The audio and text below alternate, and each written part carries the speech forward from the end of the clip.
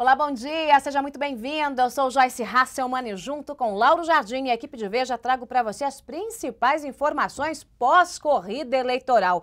E o dia começa com a notícia de que a presidente reeleita resolveu tirar férias. Ela vai descansar na Bahia. O mercado financeiro continua em polvorosa enquanto não há o anúncio do novo ministro da Fazenda.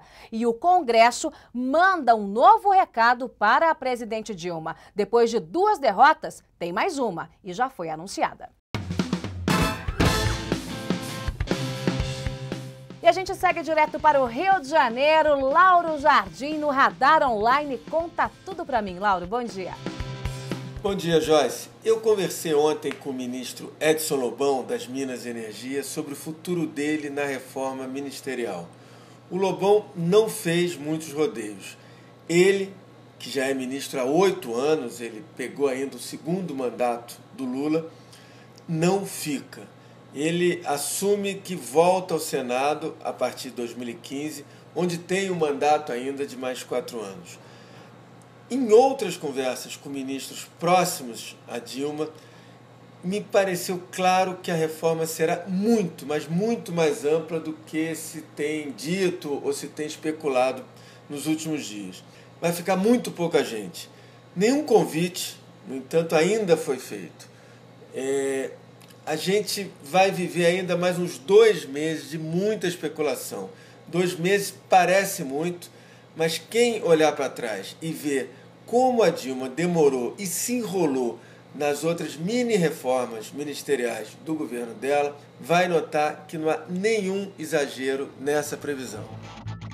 E depois da derrota que Dilma Rousseff sofreu no Congresso, veio mais uma. E tem mais uma que está anunciada. Gabriel Castro fala direto de Brasília. O presidente do Senado, Renan Calheiros, dá como certa a derrubada do decreto que criava os conselhos populares na administração federal. A Câmara já rejeitou a proposta do governo na última terça-feira. Agora deve ser a vez do Senado o que evidencia a crise que o governo vive com a sua base de apoio no Congresso. O PMDB, tanto na Câmara quanto no Senado, se posicionou contra o decreto bolivariano da presidente Dilma Rousseff. Gabriel Castro, de Brasília, para o Giro Veja. em meio à turbulência política, Dilma Rousseff resolve pegar um solzinho na Bahia. Felipe Frazão. Oi, Joyce, bom dia. A presidente Dilma Rousseff, reeleita no domingo, decidiu tirar férias por estar muito cansada. Só pode ser da campanha eleitoral, porque ela passou 40 dias distante do Palácio do Planalto. Essa semana ela passou muito rapidamente no seu gabinete e, na noite dessa quarta, viajou de Brasília para a base de Aratu, no litoral baiano. Dilma deve ficar lá até domingo com sua filha Paula e com seu netinho Gabriel. E provavelmente vai à praia de Nema e à praia de Viração, que são suas favoritas, e onde ela foi fotografada tomando banho de mar no fim do ano passado. A previsão do Planalto é que Dilma retome os trabalhos de presidente da República na segunda-feira. De São Paulo, Felipe Frazão. Giro Veja, eleições 2014. E ontem foi um dia de bagunça no mercado financeiro. A Bovespa caiu, os papéis da Petrobras e da Vale puxaram a baixa e a taxa de juros subiu. Talita Fernandes tem mais informações. Fala, Talita, bom dia. Joyce, o clima que predominou na Bolsa de Valores na terça, levando o Ibovespa a fechar em alta, não se repetiu ontem, na quarta-feira, quando o pregão fechou em queda, com 2,45%. O que pesou no cenário negativamente foi novamente a incerteza em relação à equipe econômica do segundo mandato do governo Dilma e, além disso, uma nota divulgada pela Petrobras.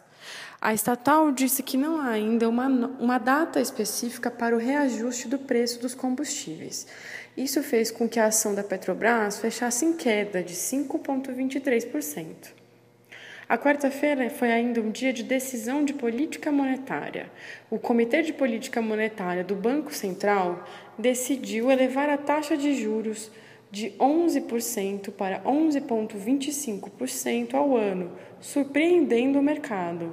A expectativa dos analistas e investidores era de que o Copom mantivesse a taxa em 11%. alta, porém, não foi uma decisão unânime dos membros que compõem o Copom. Cinco votaram favoráveis ao aumento dos juros, enquanto três votaram contrários. Essa alta inesperada pode ser uma sinalização de que o cenário de inflação continua preocupando o governo e o Banco Central. Talita Fernandes, de São Paulo, para o Giro Veja.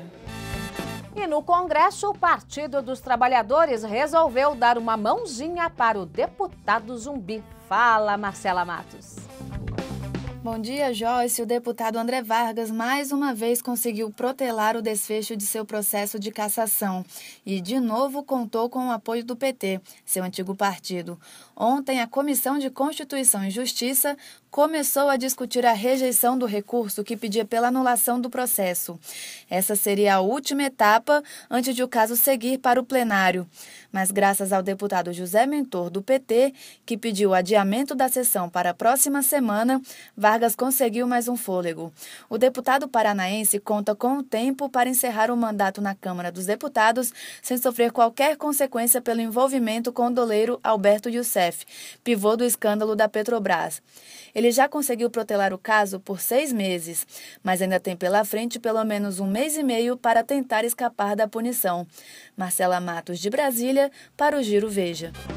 Muito bem, tá aí um giro rápido com as principais informações que você precisa saber para começar o seu dia muito bem informado e, claro, sempre a participação com informações exclusivas de Lauro Jardim. A programação aqui em TV, já TV de Veja.com não para, então a gente se vê já já às 11 da manhã. E eu vou provar para você que nós já temos dois candidatos para concorrer à presidência em 2018. É já já.